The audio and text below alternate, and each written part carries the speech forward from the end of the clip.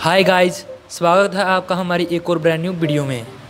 और आज का हमारा टॉपिक होगा how to send bomb picture on Instagram कि कैसे हम इंस्टाग्राम पे दूसरे बंदे को कुछ इस तरह फ़ोटो सेंड करें कि वो बंदा वो फ़ोटो सिर्फ़ एक ही बार देख सके। तो चलिए वीडियो शुरू करते हैं बिना किसी देरी के।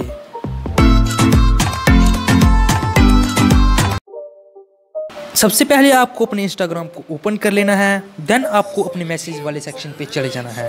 एंड देन आपको उस बंदे का चैट सेक्शन ओपन कर लेना है, जिसे आपको फ़ोटो सेंड करना है। और यहाँ पे मैंने अपने दोस्त धीरज का चैट सेक्शन ओपन कर लिया है। एंड देन आपको चैट सेक्शन में जो कैमरा वाला ऑप्शन दिख रहा है, उस पर क्लिक कर देना है।